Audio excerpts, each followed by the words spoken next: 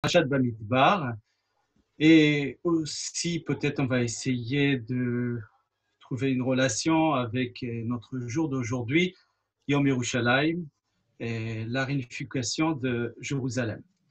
Alors, Parashat Bamidbar, va, lorsqu'on va lire la traduction, en, nous lisant en hébreu, on va voir qu'il s'agit de, recensement, d'un recensement de, du peuple d'Israël, des tribus d'Israël, de familles.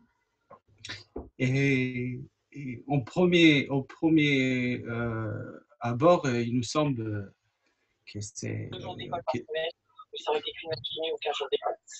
Antoine, les parents essayent euh, eux aussi individuellement de réduire les risques. Il y a quelqu'un d'autre qui parle. Il y a un code qui est donné euh, à l'école et puis les parents aussi prennent des décisions. C'est d'élèves. C'est qui? Entre midi et deux pour réduire justement les contacts. Les gens. Voilà. Très bien. Alors, premier abord, on ne comprend pas pourquoi il est important de recenser les peuples d'Israël. En plus, qu'on va voir que ce n'est pas la première fois que nous recensons les peuples d'Israël. Alors, la paracha commence comme ça. C'est où est Rosh Koladat Bene Israël, les Mishpechotam, les Vetavotam. Sefer Bamidbar, il, il, commence par euh, faites relever de toute, la, de toute la communauté des enfants d'Israël. Relever, c'est comme relever une compte mais c'est où Etroche, on va voir que c'est où en hébreu a une autre, une autre signification. C'est où ça veut dire, ça veut dire élever quelque chose. Alors, euh, faites, faites le relevé de toute la communauté des enfants d'Israël, selon leur famille. J'ai un problème avec l'écran. Non, seconde. C'est un problème technique.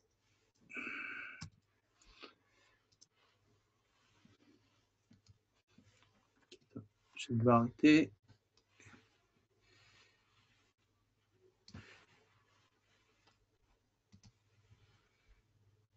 Là, peut-être ça ira mieux maintenant. Voilà. C'est bien. Voilà, c'est comme ça que le, Sefer Baïbar commence. C'est fait relever de toute la communauté des enfants d'Israël, selon leur famille et leur maison paternelle, au moyen d'un recensement nominal de tous les âmes comptées par tête.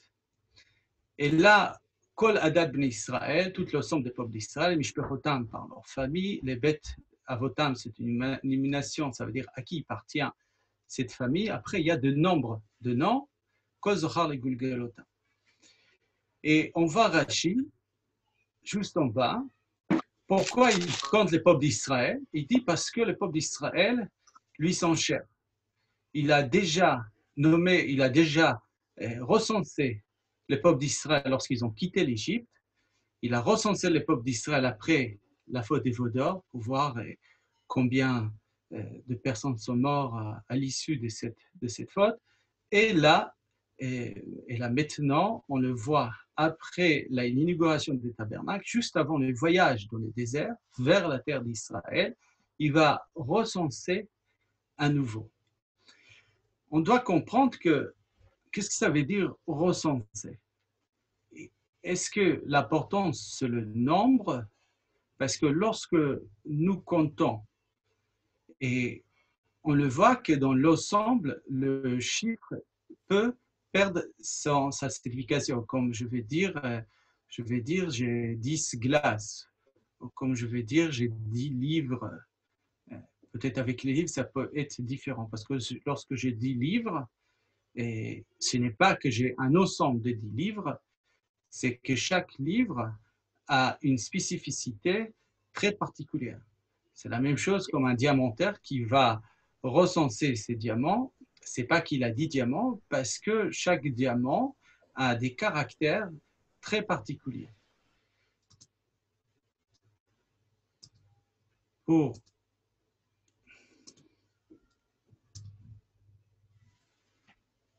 Pour mieux comprendre, je vais passer ligne par ligne. Il est écrit dans les traités Brachot, c'est en haut. Ça veut dire que l'opinion des hommes ne ressemble pas. Chacun a une opinion différente. Et leur visage, leur visage ne ressemble pas. Ça veut dire, on sait très bien, comme notre visage ne ressemble pas, c'est ainsi, c'est ainsi que notre opinion est très, très différente. Ça veut dire que chacun a été créé comme un être unique. Nous avons des visages euh, différents et nous, avons des opinions différentes.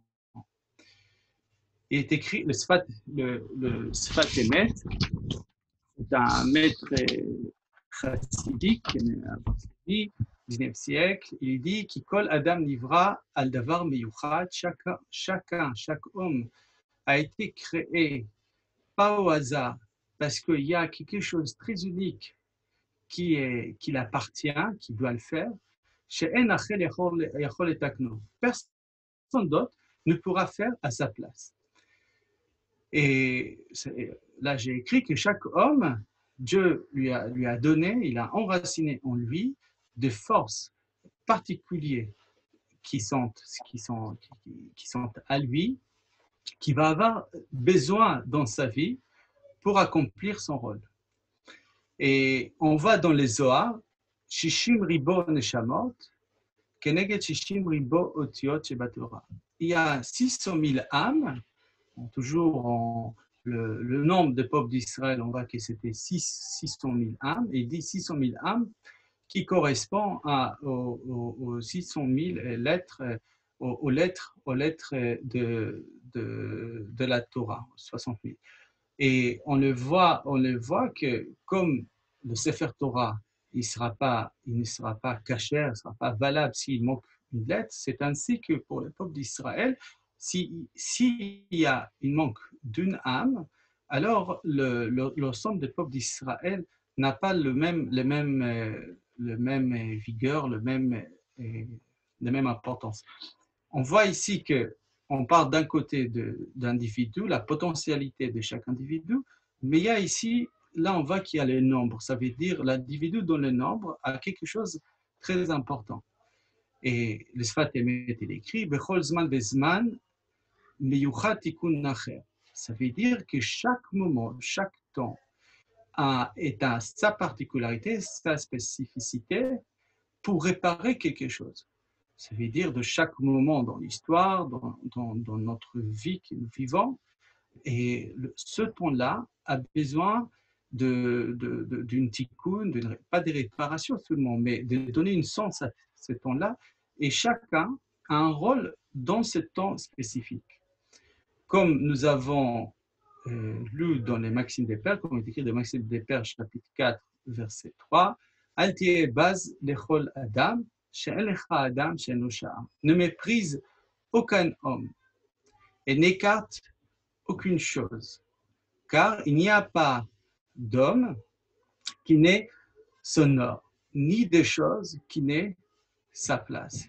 Ça veut dire que chaque homme qui est venu, il ne faut pas dire oui, celui-là, euh, euh, c'est un homme simple, euh, qu'est-ce qu'il sert dans, dans, la société, dans la communauté, dans la famille. Non, c'est chaque homme. Il n'y a pas un homme qui n'a pas son or. Son or, ça veut dire il est venu ici pour faire quelque chose de spécifique et toi, tu ne pourras pas faire et, vice-versa.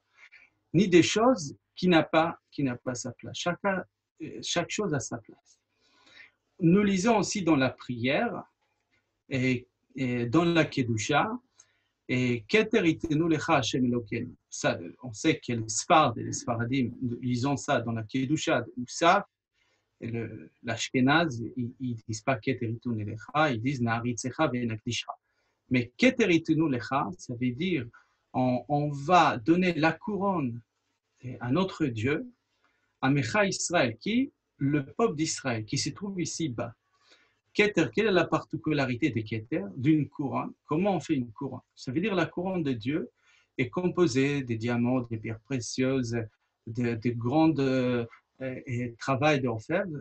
Et, et, on sait que chaque pierre précieuse et chaque coin et chaque travail d'orfèvre a, a, une importance. C'est la même chose, c'est ça. Ça veut dire d'un côté, il y a ici sur cette image, cette métaphore, la couronne de Dieu, que, que le peuple d'Israël forme cette, cette couronne de Dieu, il y a des pierres précieuses, il y a, il y a, de, il y a, il y a des travails, il y a un travail d'art, qui chacun a son point, chacun a son rôle, mais il ne faut pas oublier qu'il y a une ensemble, parce que ces là cette, couronne-là, est faite par tous les composants, par tous les individus. Ça veut dire qu'il y a ici, on le voit ici dans cette métaphore, l'importance de l'individu, mais aussi euh, dans chaque individu, il y a dans, chaque élément de cette, de cette couronne, il y a cette harmonie de l'ensemble.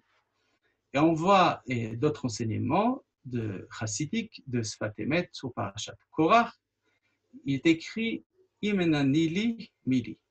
Si je ne ferai pas pour moi, qui fera Si je ne fais pas, si ne fais rien pour moi, qui, ne, qui fera pour moi? Ça veut dire que ne fais pas attendre que quelqu'un fasse quelque chose pour moi. Ça veut dire que le rôle d'un homme, de se découvrir, de découvrir ce qu'il est et de travailler et de, et de, et de mettre à l'œuvre ses potentialités. Qui colle Adam Livra d'avoir miucha, car chacun a été créé pour quelque chose, pour quelque chose unique. Chez personne ne fera ça à ta place.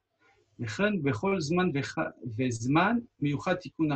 chaque temps a son ordre pour réparer, pour faire quelque chose qui est différent.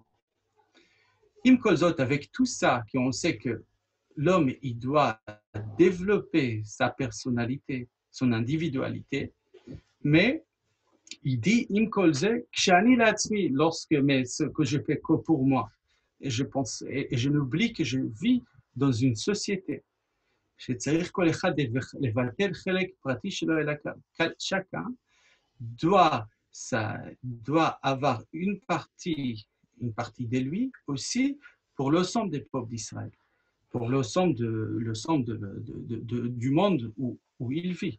Ça veut dire qu'il y a deux étapes. La première étape, c'est que les développements individuels, les, développements de notre, euh, de, notre particularité, individualité, de, ce qu'on sait faire, mais évidemment, après que je me découvre, évidemment, il faut que je pense comment donner de moi-même et, euh, à la société autour de moi. Et là, déjà, on commence à voir les facultés entre le nombre, ça veut dire le nombre qui peut signifier quelque chose qui est, euh, qui est général, et l'individu qui est à l'intérieur.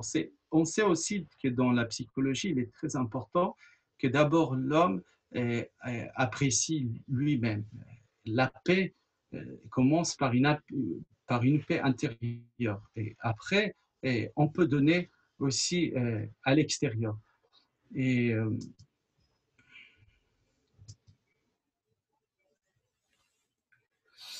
on voit dans un autre endroit sur le compte des peuples d'Israël, déjà dans le livre des Shemot, après que, après que nous racontons que Jacob et ses enfants sont descendus en Égypte à l'issue de, la famine, ils ont suivi eh, Joseph, ils sont installés en Égypte, on voit que le livre des Shemot commence par aussi le ressourcement.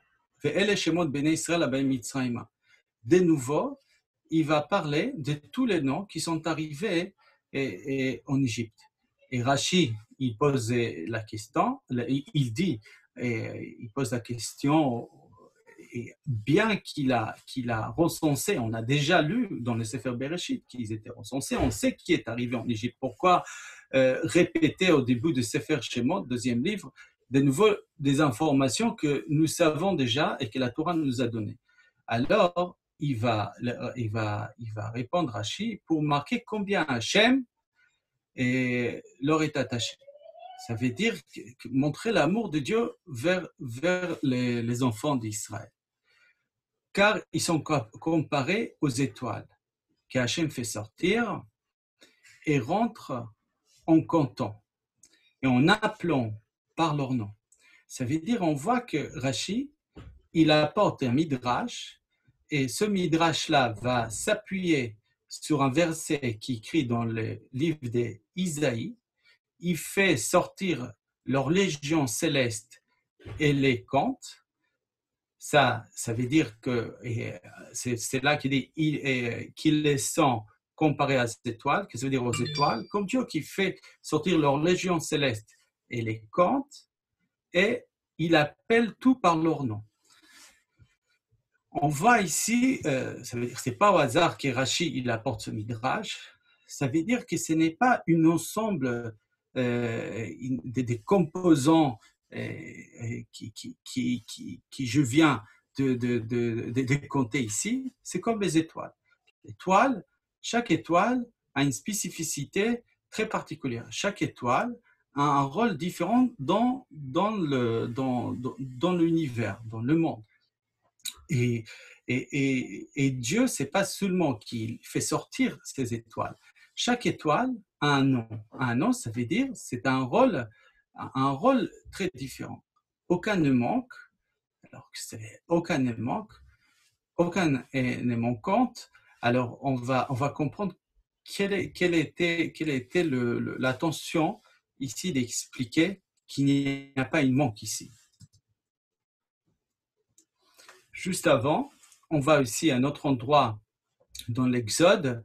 Vous connaissez tous le parachat Kitissa, lorsque Dieu dit à Moshe de recenser les peuples d'Israël pour la construction des tabernacles.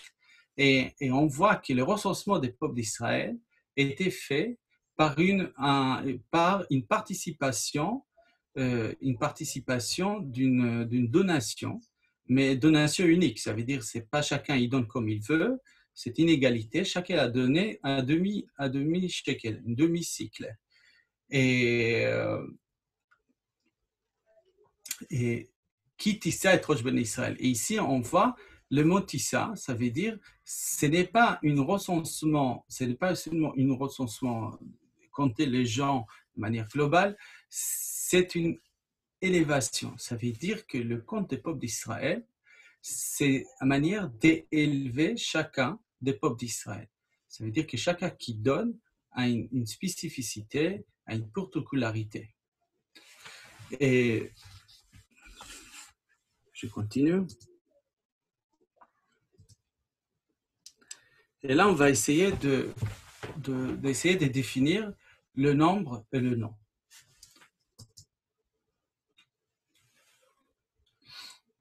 Alors, c'est quoi un nom? Lorsqu'on parle d'un nom, le nom, il donne l'identité à l'homme.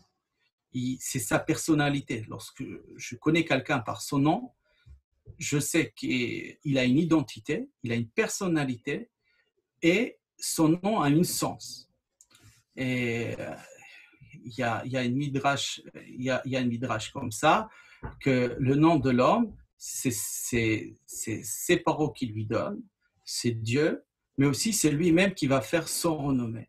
Alors, le renommée de l'homme, le nom de l'homme, on sait comment c'est important, mais plus important après les maximes des pères de la couronne, de, de, la Torah, ça veut dire l'érudition de la Torah, la, couronne de la prêtrise, la couronne de la royauté d'Israël, c'est va un bon, un bon renommé. Lorsqu'un homme il part, il part de, ce, de ce monde, on part sur le bon renommé. Alors, le nom, le prénom, le renom d'un homme, c'est son identité, c'est sa personnalité et c'est le sens qu'il a. Par exemple, Lémer. Lémer, c'était le père de Noé. Alors, le père de Noé, le moment qu'il est né, il a dit Zeinachamenu mimaasenu lui, c'est lui, cet fils-là qui vient de naître, il va nous consoler. Il va nous consoler, il va donner un espoir, un, mimaasenu, de nos actions, mitzvon yadenu, et, la tristesse de notre action. On sait très bien quelle, était la réalité juste avant, avant le déluge. Alors, noir, et Léa. Léa a été, on va, Léa, on sait très bien qu'il n'était pas euh, la femme euh, que Jacob a souhaité de, de, l'avoir euh, en premier. Le père Laban a changé et, Rachel par Léa et, et elle n'avait pas de confiance en elle elle, elle, a senti que, Jacob ne l'aime pas. Alors, lorsqu'elle a eu son premier fils, elle l'a appelé Réhouven. Réhouven, voit un garçon, mais Reuven, la Torah, il dit pourquoi elle appelle Reuven Kira'a Hashem Be'oni. Dieu a vu ma, ma pauvreté, ma tristesse de pauvreté. Qui. Maintenant, mon mari va m'aimer. Alors, on voit que le, nom, c'est une identité, c'est une personnalité, c'est un souhait. Qu'est-ce qu'on attend de cet être qui vient de naître En revanche, le nombre, mispar, le nombre, c'est un mispar. C'est un ensemble, c'est un, ensemble de choses, un ensemble de, des éléments qui n'a pas d'identité. D'accord? Il n'a pas d'identité, n'a pas de signification, euh, n'est pas de personnalité. Il y a un, nombre. Il y, a, il y a 20 personnes. Mais quand je dis que 20 personnes, il y a Ri ou Ven, il y a Shimon, je connais chacun. Chacun exprime quelque chose. Alors là, j'ai de nouveau, j'ai de nouveau écrit le, verset euh, d'Isaïe. On a dit que, que, Dieu il donne un nom à, à, chaque étoile de ces, légions, légions célestes et il les compte. Mais à part le compte, il, il donne un nom. Ça veut dire il y a le nombre, mais il y a le nom. Et lorsqu'il y a le nombre, il y a le nom. C'est ça qui fait l'ensemble qui ne manque pas. Mais si vous regardez les versets, à la fin des versets, écrit Ish lo ne'edar. Et Ish lo ne'edar. Ne'edar, c'est une, une absence. Il y a quelqu'un qu'on ne, ne, trouve pas, qu'on ne sait pas où il est, où il est, et à la guerre, quelqu'un qui, qui, qui, a disparu pendant, qui a disparu pendant un temps, on dit il est ne'edar il manque. Ça veut dire que même qu'il y a de nombres, le nombre a, un nom, dans ce nombre, il y a un nom, il y a un nombre, et nous, les manquons. Et je vais expliquer ça. Par exemple, j'ai écrit qu'il y a, s'il y a une classe, une classe qui est, qui est, qui est sortie euh, pour, pour, un voyage, euh, et, dans, dans, la classe, lorsque, lorsque nous, nous, faisons une, sortie avec l'école, on voit qu'on compte chaque fois. On compte combien d'enfants nous, nous, avons dans, dans, dans, la classe. Ça veut dire si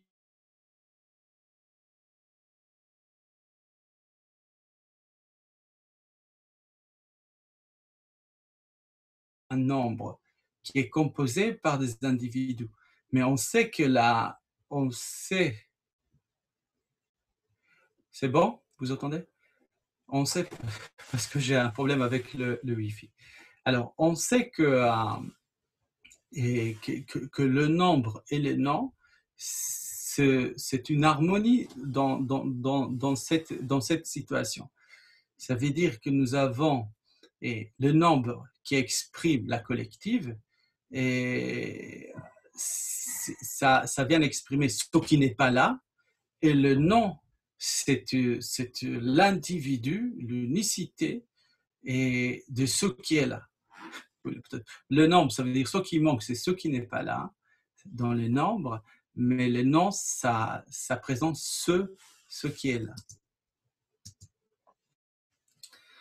C'est intéressant dans les traités Babakama, parce qu'on parle la, le lien entre le nombre et le nom, que, que le nombre ne doit pas toujours et, inclure l'individu et qu'en fait, le, but des, cours euh, aujourd'hui, c'est d'avoir que, le recensement que nous voyons qui se répète dans la Torah vient, vient évidemment exprimer l'individu dans les nombres. Ça veut dire qu'il ne s'efface pas. Et dans les Babakama, il y a une, j'ai trouvé un enseignement Omar, Alpha Israël. Ça veut dire, ce verset-là, nous, nous chantons et nous lisons et les moments que nous rentrons et nous rentrons la Torah. Lorsqu'on sort la Torah, on dit Vaïbin Soa Aaron. Et on dit à Aaron, et juste après, c'est écrit dans le Sefer Bamidbar, dans les Nombres, chapitre 10, Vnuchoyomar, ça veut dire lorsque l'arche sainte, il s'agit ici de, désert, c'est pas au hasard que nous lisons cette, cette, ce verset le moment qu'on rentre la Torah, ça veut dire lorsque l'arche sainte va camper dans les déserts, les Shuva Hashem, Rivot Israël, Amecha, revenez Dieu vers les, vers les, vers les milliers, vers les multitudes, et, multitudes de, notre peuple d'Israël. Et là, la, Gemara, il fait un midrash, la metra she'en shrina shora al Israël. Il dit que la présence divine eh, ne réside pas sur le peuple d'Israël, moi, de 22 000 personnes.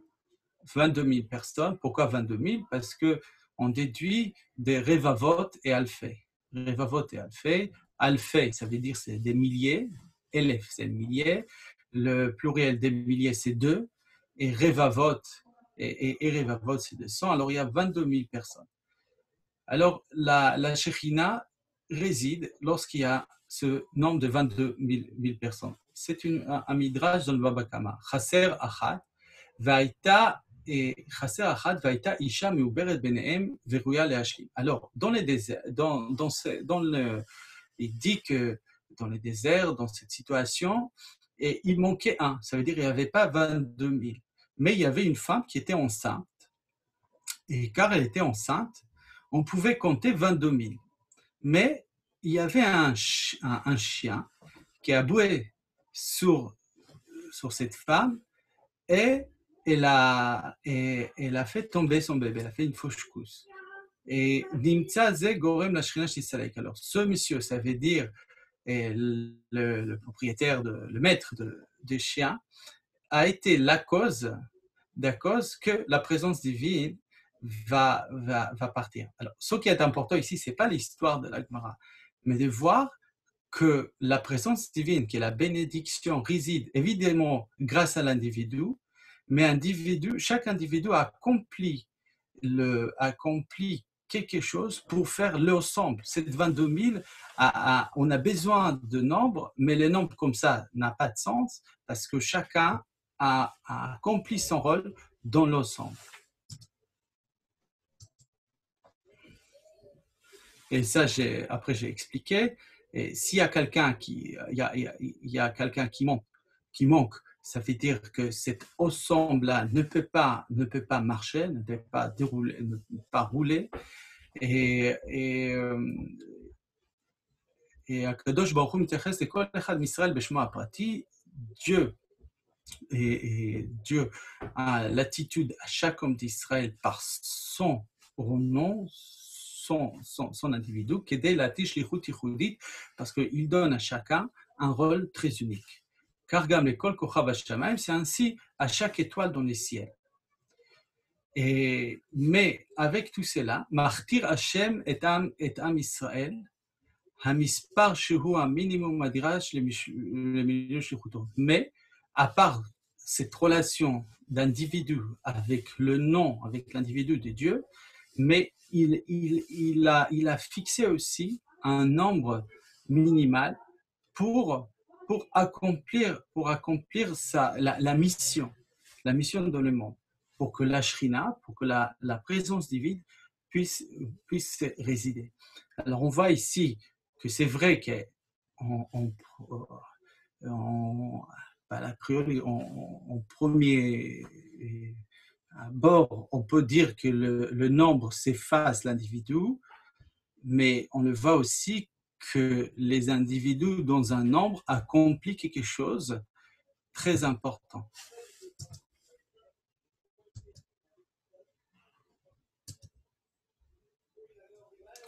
Et là, je reviens vers la paracha. On a, lu ça, c'est où? Ben Israël. Vous allez compter, c'est où? Vous avez élevé chaque homme, chaque tête du peuple d'Israël, les mishpechotam, ça il s'agit de la vitu, les betavotam, par rapport à leur maison des pères, bemispar shemot, chacun par son nom, kol zachar les gulgolotam, ici on va de nombre. Ça veut dire qu'il y a ici l'individu, mais le nombre qui est important pour accomplir un rôle. Et, l'autre verset, c'est le verset 18 du chapitre 1 de Bamidbar, et on voit comment on a mis à l'œuvre le recensement, Haïda, Hik Ilu, Haïda, toute la communauté, il y avait les rassemblements de, toute la communauté. Que veut dire Eida Eida, ça veut dire c'est une rencontre, un rassemblement. Eida, c'est un rassemblement. Mais de cet rassemblement, qui était Be'echad la Chodesh qui était le premier Iyar, ça veut dire deuxième mois, c'est le mois qui nous, sommes, le premier mois, c'est le mois de, Pâques. Alors, et il y avait cet rassemblement, et juste avant le voyage, on le voit que chaque famille a été comptée par leur nom, les Gulgelotam, ça veut dire dont il y a ici l'individu et le nombre général. Il y a une phrase en hébreu qui dit Kulam Kulam tout le monde ensemble, mais dans l'ensemble, il y a Kol est unique dans l'ensemble. Un Rosh Hashanah, peut-être on peut voir ça dans les traités Rosh Hashanah. Dans les traités Rosh Hashanah, on le voit, Rosh Hashanah. Le premier Tishrei, c'est le jour de jugement, le nouvel an. Le premier Tishrei, tous les habitants de la terre passent devant lui, ça veut dire devant Dieu, comme les brebis, les brebis devant le berger. Alors, ils passent un par un. D'accord? Et Ovrim les fanav qui marron. Ça veut dire un par un, comme des brebis.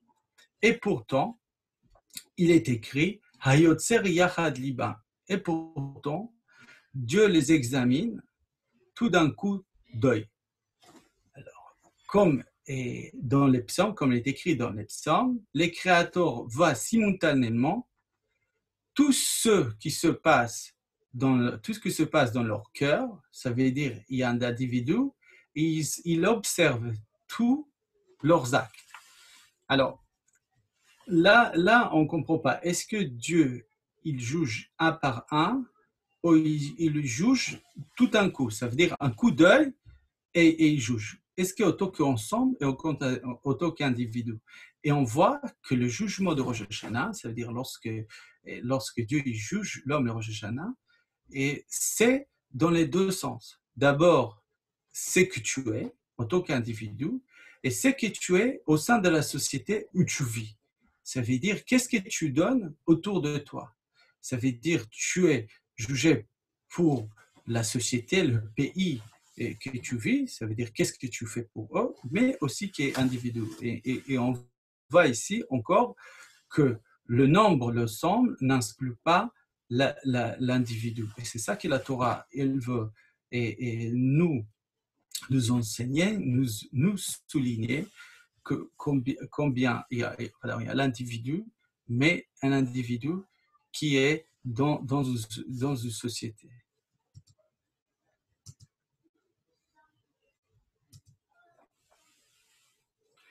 Avraham Avinu, Avraham Avinu, après la ligature d'Isaac, Dieu a, créé une alliance avec lui en disant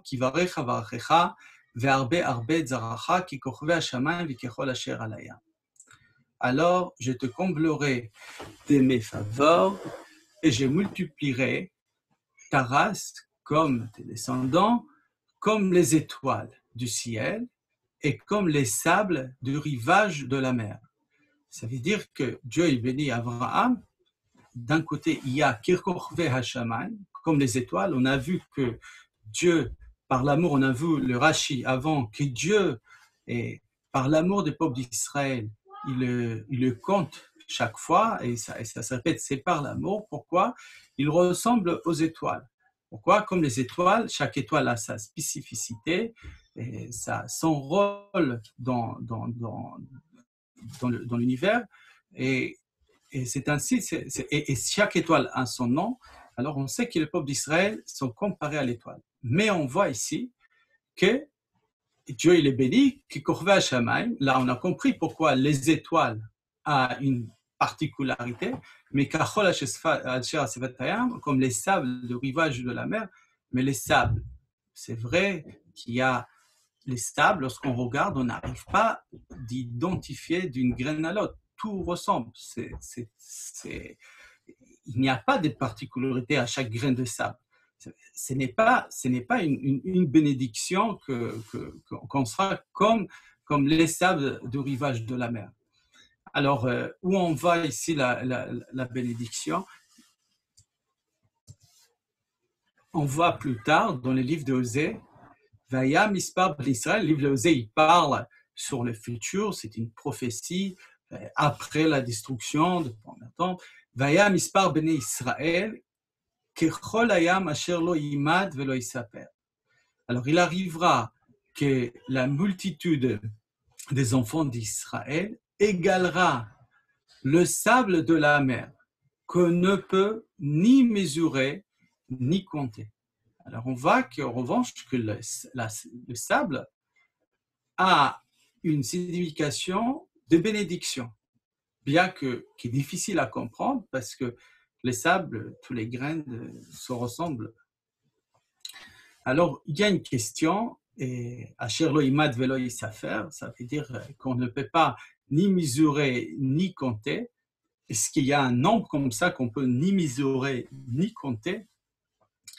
Alors il dit que c'est vrai que chaque étoile a sa spécificité et, et, ça, son, ces caractères de chaque étoile euh, témoignent son existence, sa richesse et son influence. Mais l'étoile, c'est quelque chose qui est très loin. C'est vrai, il est clair, mais il est loin. Il n'arrive pas à éclairer l'obscurité. Mais aussi, il ne peut pas associer sa lumière avec une autre étoile. Chaque étoile, sa lumière. Ça veut dire qu'il s'agit, c'est vrai, d'un renommé d'individu, mais le sable, c'est quelque chose qui peut s'associer ensemble.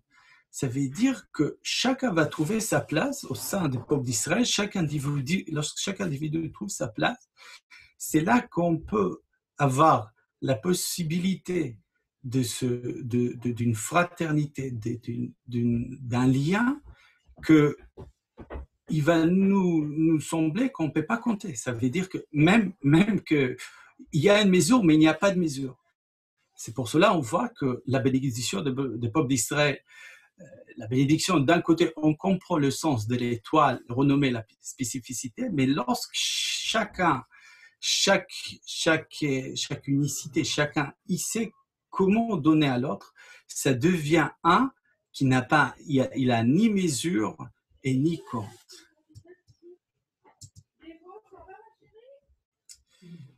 Et on va voir que dans la paracha, après qu'on va comprendre les renseignements, il y avait d'autres particularités.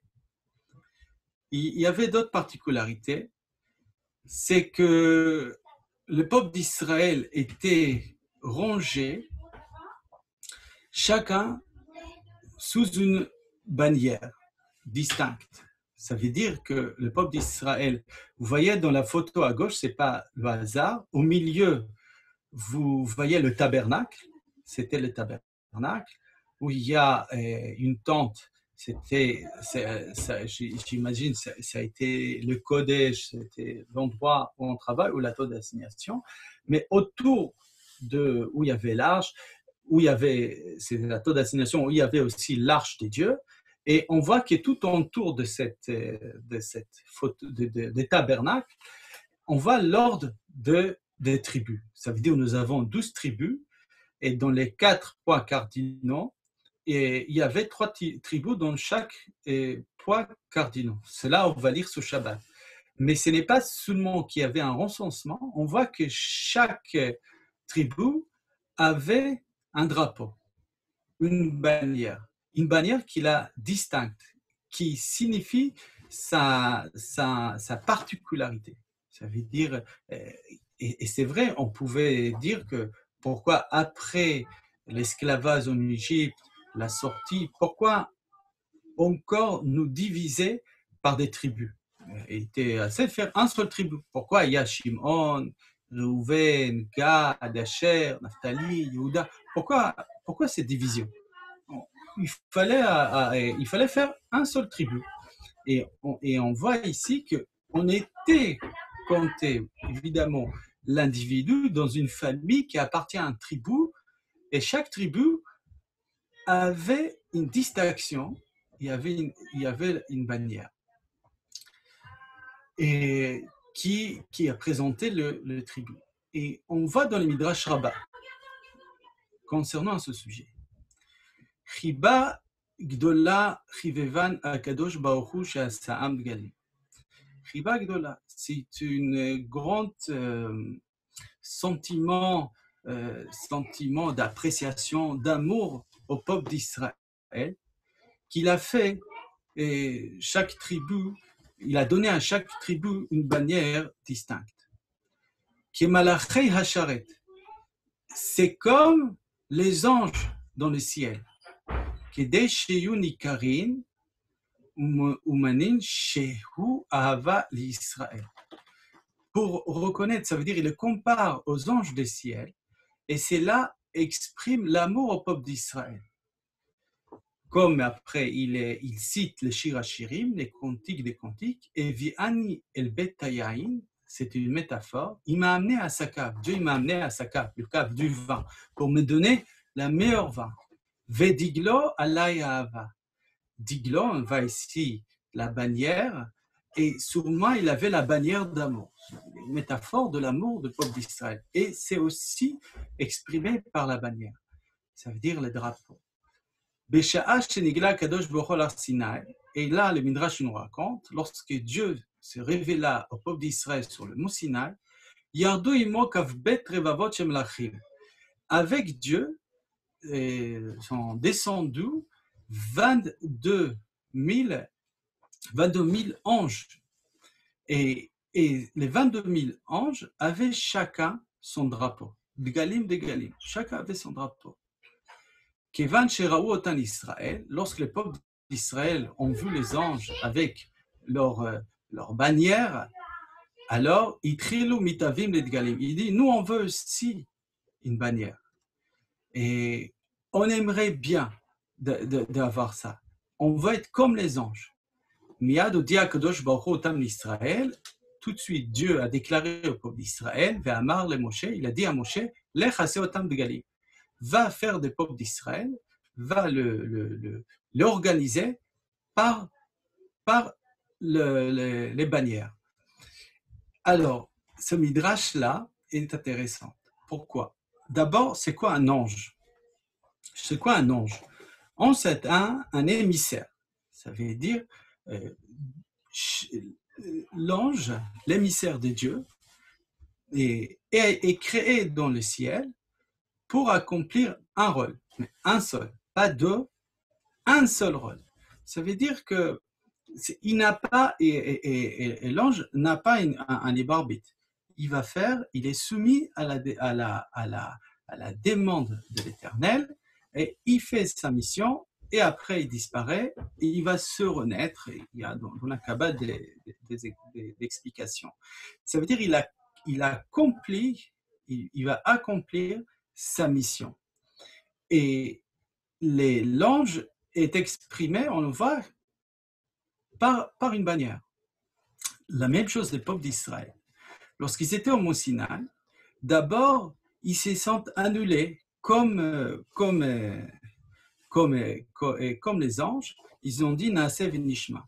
Ça veut dire que nous acceptons tout de suite cette Torah, ce que tu vas nous donner. Ça veut dire cette manque de, comme, de, de, libre, de libre arbitre. Nous, nous écoutons, nous ferons et après, nous, nous écoutons. Et mais il y a ici dans le sens d'une mission. Ça veut dire que chacun met à l'œuvre sa mission, comme les anges et font leur, leur rôle autour de, de, l'Éternel. C'est ainsi que le peuple d'Israël sont organisés autour du tabernacle par la bannière et chacun accomplit son rôle autant que tribu. Autant que tribu, autant autant que, qu'un individu.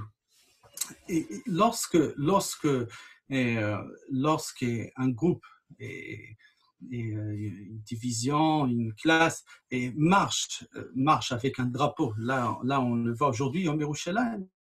Il y avait des divisions qui, rentraient à Jérusalem.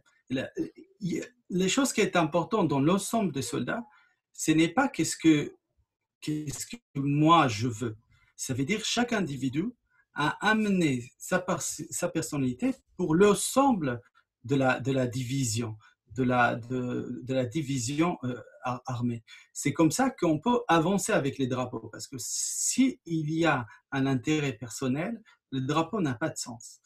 Et, et, là, la même chose, on le voit, on les voit ça dans, dans, chaque tribu avait son identité très spécifique qui, euh, qui était respectée par un autre tribu, et c'est ça qui a fait en fait la richesse, la richesse de notre peuple nous sommes, ce n'est pas d'avoir la même pensée et, d'être identique qui fait notre richesse, c'est exactement la diversité. C'est ça qui fait les peuples d'Israël. On sait qu'on a beaucoup de traditions. On a des Sfard, des Ashkenaz, il y a des, il y a, il y a de, de, de, Marocains, il y a des Gilrois, il y a des Tunisiens. En Israël, on peut voir des Yéménites, on peut voir les Russes. Il y a cette multitude de cultures, multitude d'individus, mais tout le monde, avec leur drapeau, apporte quelque chose pour l'ensemble, pour l'ensemble des peuples d'Israël. Et, et, là, qu'on a parlé de Yerushalayim, on peut voir dans les psaumes 122, Jérusalem, qui est bâtie comme une ville d'une harmonieuse unité. Ça veut dire c'est une ville qui va relier entre tout individu si différent, si différente. Jérusalem a été détruit à cause de Sinatrinam, ça veut dire une haine a résisté gratuitement, une manque de fraternité, une, individu qui, un individu qui, qui, a pensé à, lui et, n'a pas compris que son, développement de, de, soi, c'est le développement d'individu, elle est, elle, est, elle est là pour, pour, pour enrichir le peuple. On était douze tribus si différentes. On est rentré par douze portes à Jérusalem, par une harmonieuse unité. C'est là, alors le Shivatim, Shivteya, et doute les Israël. C'est là que montent les tribus, ça veut dire Jérusalem, les tribus de l'Éternel. Et on voit combien notre diversité, notre spécificité de famille, de communauté, euh, des rituels est notre richesse. Tout le monde compte. Et c'est ça que la paracha Bamidbar, je pense, euh, peut mettre à l'œuvre. Et il y a des choses que je peux citer que j'ai beaucoup aimé. C'est une, un enseignement des Maïmounides. Maïmonide qui, qui se trouve dans les et qui se, qui se trouve dans les Hilchot Teshuva, chapitre 3 à la 4. Et Maïmonide dit que chacun de nous doit se voir comme si son prochain, son, son prochain acte pouvait changer le destin du monde. Combien c'est important? Chaque, chaque opinion est décidante et soyeusement. Et euh, on le voit ici, combien, après il y a le, la Mishnah, et on voit que combien l'acte de chacun est important pour le centre de peuple d'Israël. Et voilà, je mets ici le, centre communautaire parce que je pense que c'est dans cette cadre-là que nous, c'est le cadre-là que nous étudions, le centre communauté de, la communauté des vidéos. Et je vous mets le, le chanson de Yerushalayim chez Zahav, chantée par le Chazan. On a chanté ensemble, c'est à la synagogue. Vous, vous entendez? Oui, oui, on entend très bien.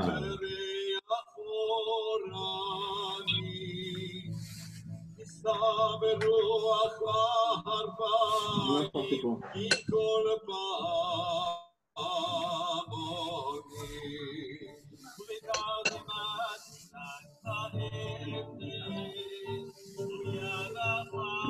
Sympa. Euh, euh, ou pas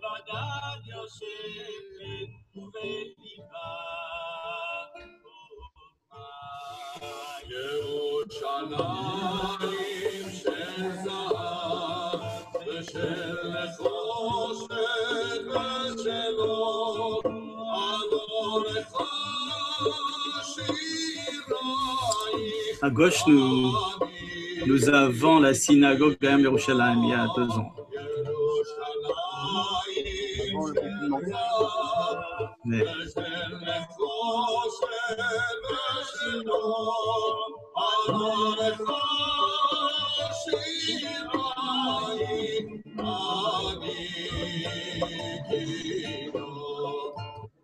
Voilà, voilà, c'est à vous maintenant. Merci beaucoup, Moshe. Merci pour euh, ce magnifique commentaire, pour toutes ces métaphores, les étoiles, le sable de la mer, la singularité euh, et la collectivité. Et merci aussi d'avoir fait le lien avec Yom Yerushalayim. Bravo en tout cas pour euh, toutes ces transitions. Alors, s'il y a des questions ou des observations, eh bien, on va donner la parole aux participants quelqu'un qui veuille euh, dire un mot Il suffit qu'on demande de dire un mot pour que le silence s'établisse. Eh bien, c'est qu'on est tous sous le charme. On est encore euh, muet d'admiration, ça doit être ça. Bon, alors ça, c'est les conversations personnelles. Alors, merci beaucoup Moshe, pour ce très beau commentaire. Euh, je souhaite à tout le monde un Shabbat Shalom et peut-être demain soir, Shabbat. En tout cas, demain, c'est Yom Yerushalayim. Donc, Rak Yerushalayim Sameach à tous. Et donc, à, très bientôt. Shabbat Shalom.